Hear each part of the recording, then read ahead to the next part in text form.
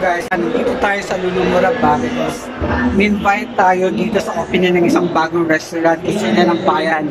Tara check natin to kung anong mga lutong Pinoy na meron sila. See you guys later!